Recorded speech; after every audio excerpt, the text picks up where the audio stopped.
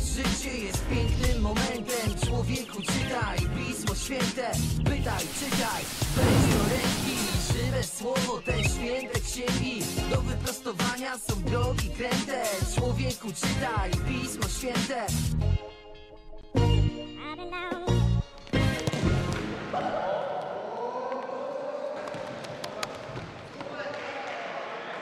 Jeśli chodzi o piłkę nożną, to zawsze było to dla mnie e, czymś więcej niż, niż tylko pasją. Było to dla mnie życiem i tak naprawdę e, dużo łatwiej było się realizować w momencie, gdy e, człowiek jeszcze chodził do liceum, kiedy był na studiach, spokojnie sobie to mógł układać. Natomiast w momencie, kiedy się rozpoczęła praca, powstał dylemat, co jest istotniejsze. W moim wykonaniu to jest pierwsza miłość, tak to zawsze określam.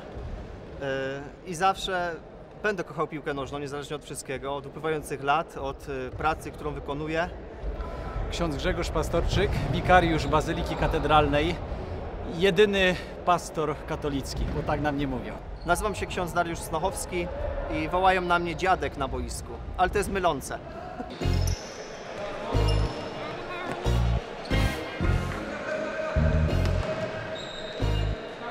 Ludzie utalentowani to najczęściej piłkarze, sportowcy, y, malarze, artyści, muzycy, uzdolnieni lekarze. O tych grupach osób mówimy, że mają y, talent. Ale trzeba sobie y, uzmysłowić, że talent to określenie, którym się już posługiwał Jezus. W przypowieści o talentach w dzisiejszej Ewangelii, w 25 rozdziale Mateusza, mówi o tych, którzy zostali obdarowani talentami. Jeden otrzymał pięć, drugi dwa, trzeci jeden. Nawet ten jeden talent to było bardzo wiele. To była równowartość kilkudziesięciu kilogramów cennego kruszcu albo kilku tysięcy dniówek. A więc ten, który otrzymał nawet ten jeden talent, otrzymał naprawdę niezmiernie dużo.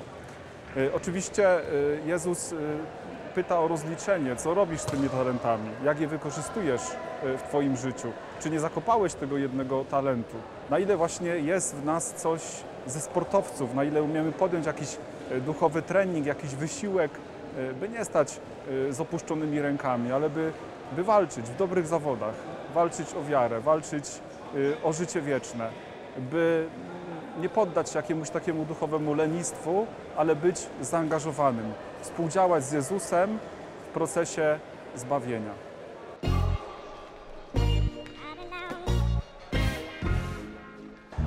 Często podziwiamy ludzi, którzy mają jakiś talent, stają się naszymi idolami, są nam bliscy yy, przez yy, chociażby okienko yy, telewizji. Podziwiamy uzdolnionych piłkarzy, ale kiedy coś im nie wychodzi, to narzekamy. Mówimy o nich, że są nieudacznikami, że nic nie potrafią. A przecież to nie jest tak łatwo rozwijać talent, nawet taki, jakim jest, jakim jest sport. To trzeba naprawdę dużo, dużo pracy, dużo wysiłku, to trzeba dużo, dużo zaangażowania. Możemy y, podać przykłady, czy, czy przypomnieć sobie y, drużyny, którym nie szło, a nagle się odrodziły i, i, i które teraz y, odnoszą, odnoszą sukcesy. Myślę, że dobrym przykładem jest ten, y, ten rok, który, który się kończy, tak bogaty w sukcesy polskich sportowców. Jeszcze niedawno może na nich narzekaliśmy, wątpiliśmy w jakiś sukces, uważaliśmy, że e, Polacy nic nie potrafią, że polscy sportowcy są do niczego, a okazuje się, że mogą być mistrzami świata e, w wielu, w wielu dziedzinach. Ale niech to nas zachęca do rozwijania naszych talentów. Popatrzmy, przypatrzmy się e, przede wszystkim temu naszemu powołaniu. Spróbujmy te talenty odkrywać, przede wszystkim te, jakie mamy, jakimi Bóg nas obdarzył, te nasze uzdolnienia, te, te nasze różne e, e, dary, które otrzymaliśmy, ale właśnie nie zapominajmy o tym, że Bóg jest naprawdę hojny, Bóg naprawdę dał nam wiele. Nie ma człowieka, który by nic nie otrzymał. Nikt o sobie nie może powiedzieć, jestem bez talencie. Nie wolno więc siedzieć z założonymi rękoma, ale trzeba naprawdę wziąć się do pracy. Trzeba dużo tych duchowych, ćwi- duchowych ćwiczeń, by być najlepszym, by nie zmarnować powierzonych nam talentów, by być najlepszym Bożym sportowcem. Do, do roboty. Pytaj, czytaj, weź do ręki. Żywe słowo, te święte księgi. Do wyprostowania są drogi kręte. Człowieku czytaj, Pismo Święte. Pytaj, czytaj, święte księgi Za słowo życia, Bogu dzięki